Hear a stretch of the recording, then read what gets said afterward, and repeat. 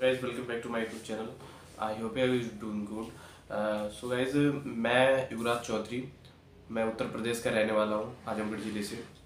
Uh, मैं NEET की preparation कर रहा हूँ पीडब्ल्यू में स्टडी कर, कर रहा हूँ पीडब्ल्यू कोचिंग सेंटर है मेरा। सो uh, गाइज़ so मैं इस टाइम कोटा में हूँ। और आई uh, थिंक मैं यहाँ पे आया था अगस्त में आया था सोलह अगस्त को यहाँ पे आ गया था। तो मैं जब यहाँ पे आया तो मतलब मैंने अपना एडमिशन तो करवा लिया कोचिंग में।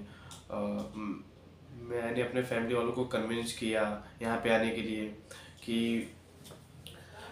पापा मुझे जाने दो आप यहाँ पे मतलब कोटा में जाने के बाद स्टडी बहुत अच्छे से होगी। मम्मी को बोला मैंने अपने अपने पूरे फैमिली को कन्विंस किया। कोई भी आने नहीं देता है। आखिर कैसे आने थे यार? अपने अपने बच्चों को अपने से दूर कोई कैसे भेज सकता है? माता पिता तो ऐसे नहीं चाहेंगे यार। आ, तो मतलब मैंने किसी तरह से अपने फैमिली वालों को कन्विंस किया फिर मैं वहाँ से निकला। आ, मेरी ट्रेन थी नौ अगस्त को और मैं यहाँ पे आया सोलह अगस्त को। तो यहाँ पे आने के बाद मैं सोलह अगस्त को मेरे साथ एक अंकल अंकल भी आए थे। आ, आने के बाद जो M B M B B S इनकी एम बी बी एस मतलब उन्होंने एम बी बी एस किया था चाइना से उनकी M B B S degree है। तो यहाँ पे आने के बाद ऐसा कुछ हुआ जो मैं आपको बताने वाला हूँ इस वीडियो में। तो वीडियो में बने रहने के लिए धन्यवाद। आप इस चैनल को लाइक करें सब्सक्राइब करें और प्लीज़ अपने दोस्तों के साथ शेयर करें। सो so गाइज़ चलो चलते हैं वीडियो में। ओके सो गाइज़ मैं जब कोटा में आया आ, कोटा में आने के बाद मैंने अपना एडमिशन करवाया पीडब्ल्यू जाके। पी डब्ल्यू जाके मैंने अपना एडमिशन कराया मेरे अंकल ने एडमिशन करवाया। एडमिशन करवाने के बाद I think sixty nine thousand coaching वालों ने लिया। लेने के बाद लेने के बाद मैं वहाँ से तुरंत निकला uh, अपने हॉस्टल के लिए। मतलब मुझे कोटा आने से पहले मैं तो यही बोलूँगा अगर आप लोगों को कोटा आना है तो सबसे पहले आप एक काम कीजिए पहले से ही हॉस्टल वगैरह देख लीजिए। क्योंकि यहाँ आने के बाद बहुत प्रॉब्लम होती है। मैं जब एडमिशन करवा के अपनी कोचिंग से निकला कोचिंग से निकलने के बाद क्या हो पता है आपको? निकलने के बाद आ, पहले तो हमें ऑटो वालों ने पूछा कि आपको कहाँ जाना है? तो हमने बोला कि हमें मतलब हॉस्टल चाहिए।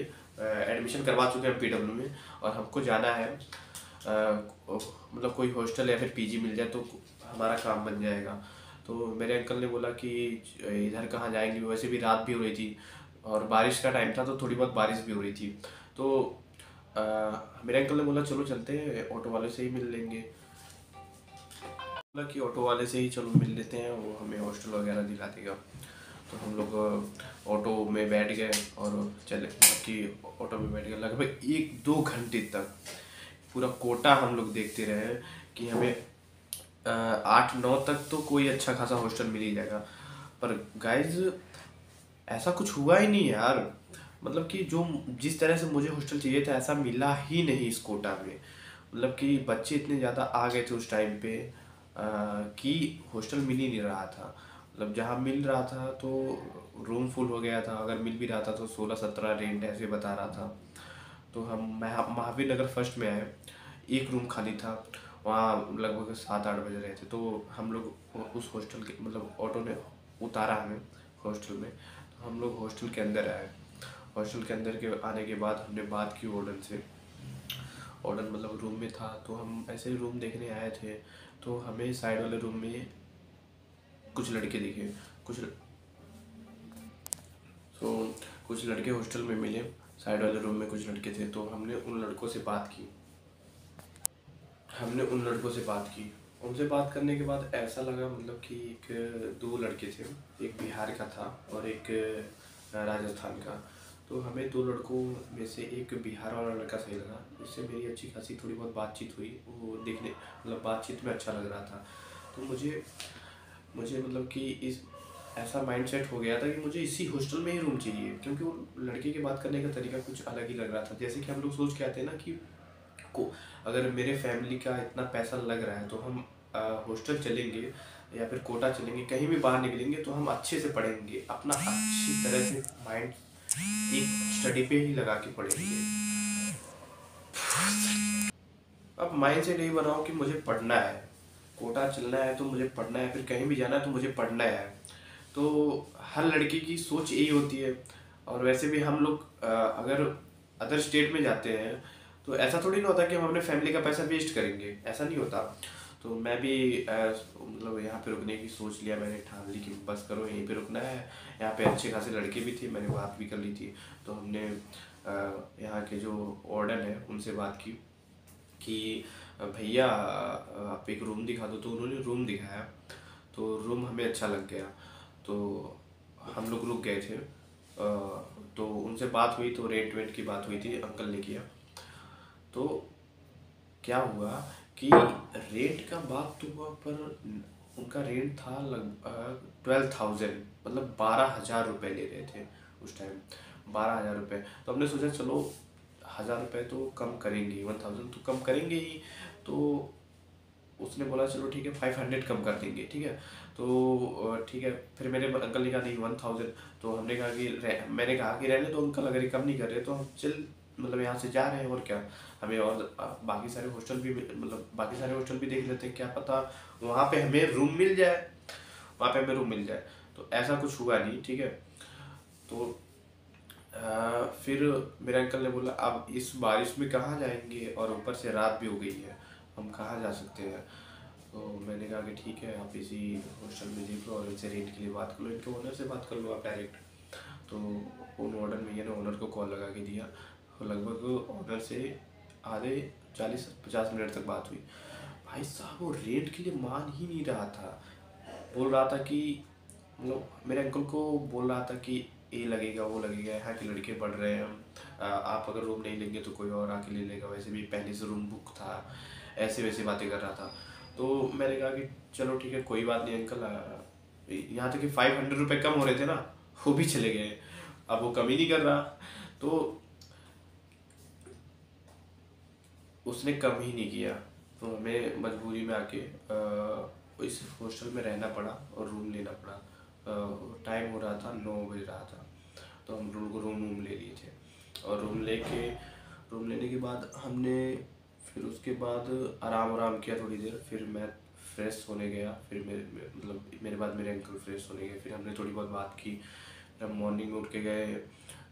मैं कुछ लेके नहीं आया था बुक्स वगैरह पेन वगैरह। तो हम लोग मॉर्निंग उठ के गए बुक्स लेने। मतलब एन e की बुक्स बायोलॉजी जूलॉजी और बॉटनी की इलेवेंथ और ट्वेल्थ की। मोस्ट इंपॉर्टेंट है भाई, आप ले लेना। कोई भी अगर कोटा पढ़ने आ रहा है ना तो आप ले लीजिए। पहले से ही लेके जूलॉजी और बॉटनी की बुक लेके पहले से आप पढ़िए। आपको बस उसको पढ़िए आप। उसमें हर रोज़ हर रोज़, अगर आप हर रोज़ पढ़ रहे हैं ना, उसमें नई चीज़ें आपको सीखने को मिलेंगी। आप कोटा में आइए और आने के बाद आप पहले से ही अपने घर पे पहले से हॉस्टल वगैरह के बारे में पूछ लीजिए क्योंकि आने के बाद यहाँ के ऑनर लोग मानते नहीं हैं। तो हम लोग आप पहले से पूछ पूछ के आइए। और मैं तो ये कहूँगा कि अगर कोटा में आपका कोई फ्रेंड है तो पहले से उससे बात कर लीजिए। उससे बात करने के बाद फिर उसके बाद कोटा में आइए ठीक है? आ, तो आ, कोटा में आने के बाद मतलब हमने जब बात बात की मैं आराम करने गया, आराम करने गया, फ्रेश व्रेश हो गया था तो उसके बाद मैंने अंकल से बात की थोड़ी बहुत तो हम बुक्स वगैरह लेने गए थे। तो उसके मतलब दूसरे दिन हमने थोड़ा बहुत घूमा सेवन वंडर पास, पार्क वगैरह। मैंने कहा कि अंकल, फिर पता नहीं कब टाइम मिलेगा, चलो चलते हैं, थोड़ा घूम फिर ही लेते हैं। तो हम लोग गए थे थोड़ा घूमने उमने माइंड फ्रेश हुआ। फिर उसके बाद मतलब मैं तो यही सोच रहा था कि बस अब पढ़ना है, मन लगा के पढ़ना है। और बस यहाँ पे कुछ करना नहीं है। तो भाई, मेरे अंकल के जाने के बाद मेरे दो तीन फ्रेंड बने। उनके बाद मेरा माइंड सेट ही कुछ अलग हो गया। तो मतलब मैं पढ़ रहा था, फिर मेरा एक फ्रेंड था। उसको, उसके टेस्ट में नंबर कम आ गए जेई का था। जेई का था। उसके टेस्ट में कम नंबर आ गए। और वो पूरी तरह से होपलेस हो गया था। तो उसने मतलब कि कोचिंग जाना ही छोड़ दिया। उसका बहुत सारा बैकलॉग लग गया था। और बहुत सारा बैकलॉग लग गया था। तो मैं तो मतलब उसका पढ़ने का मन ही नहीं कर रहा था तो उसने बुक्स उठानी बंद कर दी।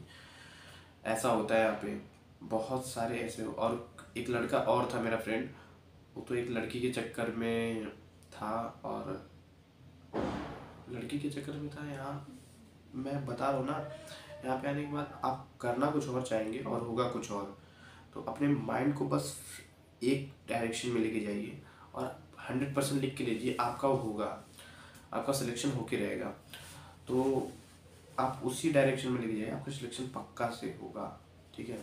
तो उस लड़के ने मतलब पढ़ने में बहुत सही था। फिर उसके बाद वो लड़की के चक्कर में जब आया तो उसने पढ़ना बंद कर दिया। बहुत कम पढ़ता था। फिर उस लड़की के साथ घूमने वगैरह, घूमने के लिए चला जाता था। चंबल गार्डन वगैरह, बहुत सारी ऐसी जगह है कपल्स के लिए, यहाँ पे। तो प्लीज़ आप मतलब कि आइए और यहाँ पे सोच समझ के आइए। पहली बात तो अपने फैमिली वालों को कन्विंस कीजिए यहाँ पे आने के लिए और आप खुद एक माइंडसेट बना के आइए कि बस पढ़ना ही है यहाँ पे आके और कुछ नहीं करना, बाकी अदर चीज़ें। मैं आया, फिर उसके बाद मैंने भी एक दो महीने पढ़ाई की, दो तीन महीने। फिर ऐसे मैं डेली क्लास जाता था लाइब्रेरी वगैरह जाता था। तो लाइब्रेरी वगैरह जाता था। मेरा नीट का एग्ज़ाम जब आया नीट का एग्ज़ाम जब आया तो मेरे सिक्स मेरे फाइव थर्टी आए। उस टाइम मतलब फ़र्स्ट टाइम फाइव थर्टी आए थे। तो इसमें मैं कॉलेज नहीं ले सकता था, क्योंकि मेरे फाइव थर्टी आए थे और सिक्स हंड्रेड से अब अब अब चाहिए होता है नीट की नीट के एग्ज़ाम में। बस तो फिर मैं समझ गया कि मैं कहाँ गलती कर रहा हूँ। फ्रेंड्स वगैरह के चक्कर में मैं अपनी मतलब पूरा पूरा टाइम बर्बाद कर रहा हूँ यहाँ पे आने के बाद। इधर उधर घूमने चला जाता था मैं। पहली बात तो यहाँ आने के बाद घूमना बंद कीजिए आप। घूमना कम कीजिए। जितना कम घूमेंगे उतना बहुत सही होगा। तो आ, मैं फिर से मतलब दोबारा कोशिश कर रहा हूँ। मैं मुझे हंड्रेड परसेंट पता है अब की के नीट के एग्ज़ाम में मैं अच्छा करूँगा बहुत अच्छा करूँगा। मुझे अपने ऊपर पूरा यकीन है। तो मैं बस ये वीडियो आप लोगों के लिए बना रहा हूँ कि आप लोग कहीं भी जाए पढ़ने ना तो प्लीज़ स्टडी पे फोकस करें हार्ड वर्क करें। और बी साइलेंस एकदम काम ऐसा करें, चुप्पी से काम करें और किसी को पता भी ना चले। ठीक है? तो आप यहाँ पे आके बस पढ़िए। ठीक है? स्टडी हार्ड थैंक यू बस ओके बाय बस मैं यही बताना चाहता आगे और बाकी सारी वीडियो मैं इससे रिलेटेड मैं डालता रहूँगा। और अगर आपको ये वीडियो पसंद आ रही है तो प्लीज़ इस चैनल को सब्सक्राइब कीजिए। लाइक कीजिए और फॉलो कीजिए, अपने दोस्तों के साथ शेयर कीजिए। मैं बाकी और सारी वीडियो डालना रहूँगा। Okay bye bye